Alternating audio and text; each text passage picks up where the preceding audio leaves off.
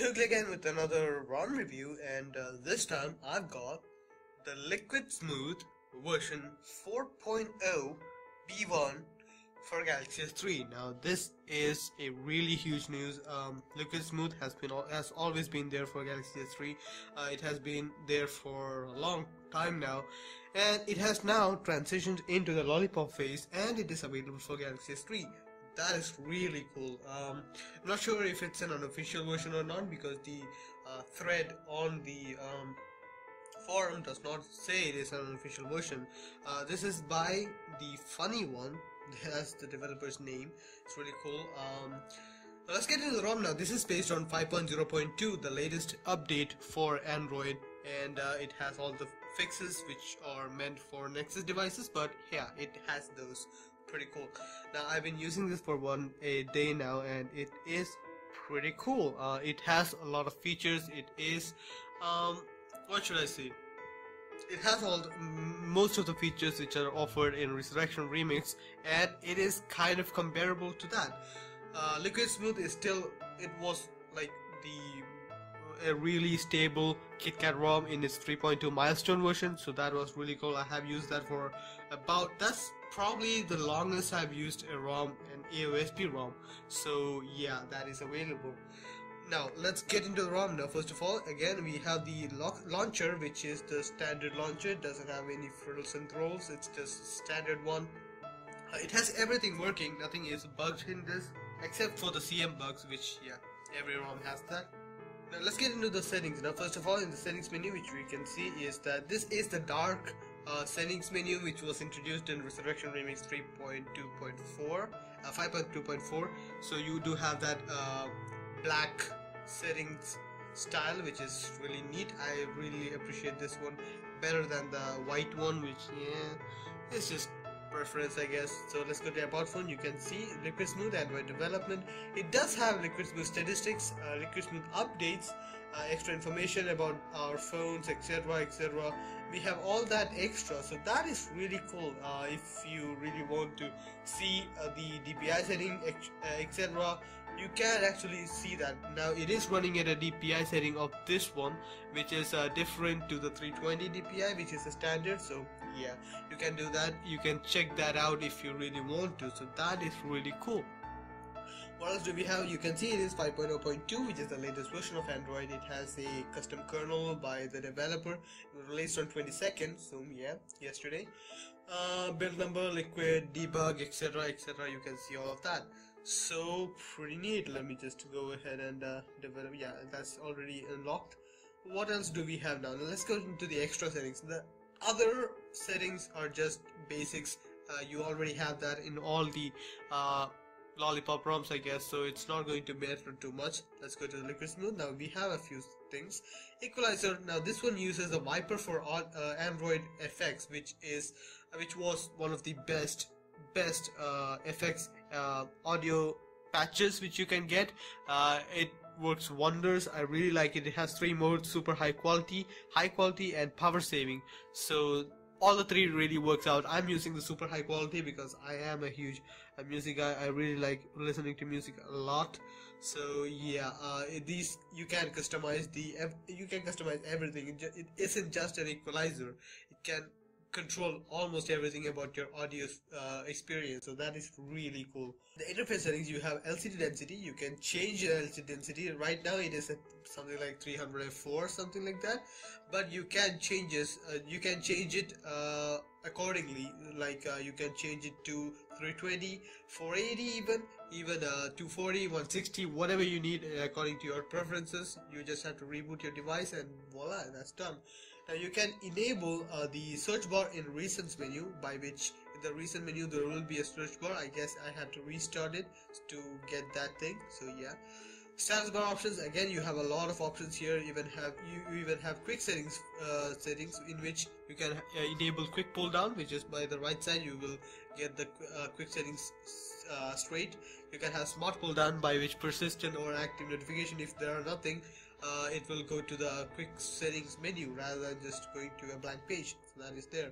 Notification ticker double tap to sleep brightness control show weather everything works. It's really cool. Network traffic even it doesn't work out. Uh, I'll show you guys. Here is the network traffic you can see. So it does work out. That is really cool.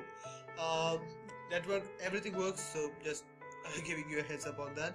Uh, clock and date it has almost everything just not the font option which I really seem to like. Uh, there isn't a font changing option for the date so yeah that is something of an oversight I guess but hey it is there.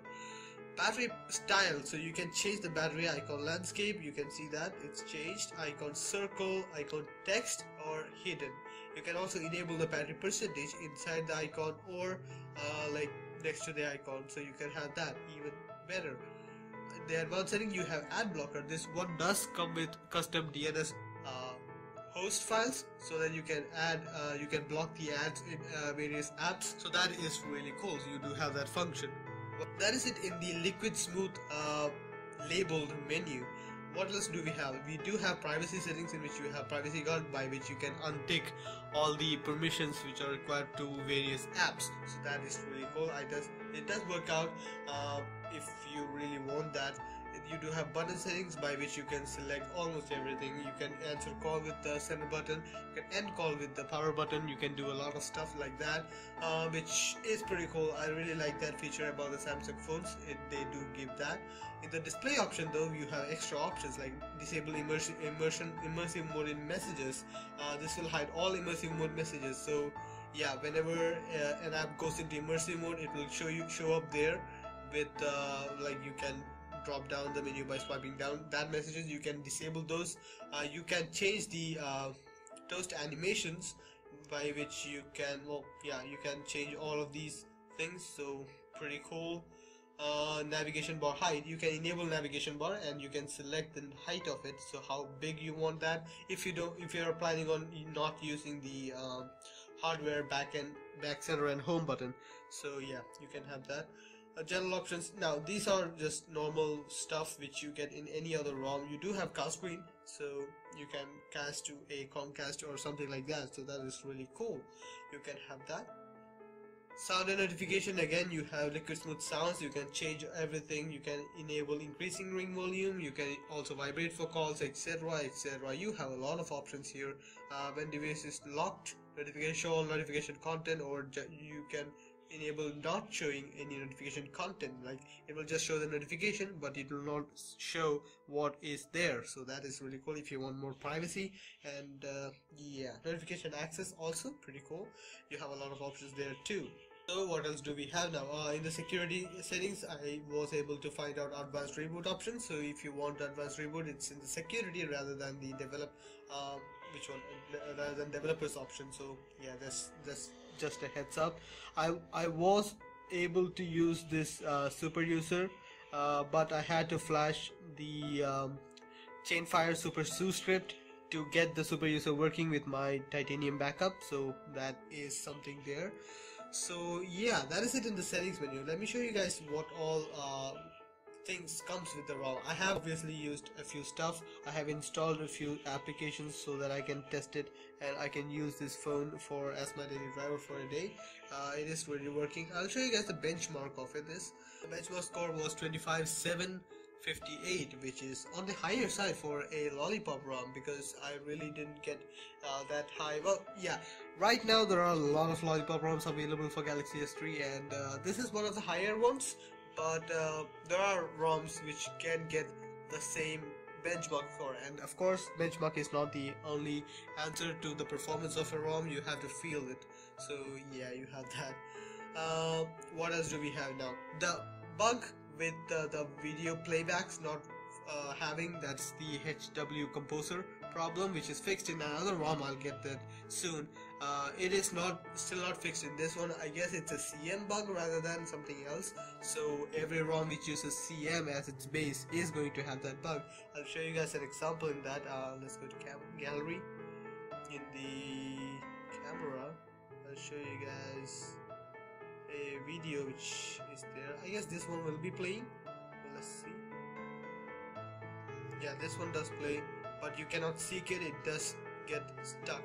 And yeah if it's a high bitrate video it will get stuck and uh, you will not be able to play it fully. So yeah that is there.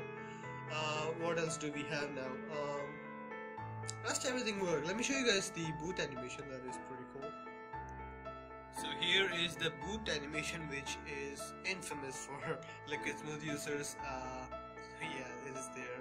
You can see there is a bit of a FPS I, am not really sure it's something different so yeah. It boots up really fast that's one thing so that's really cool.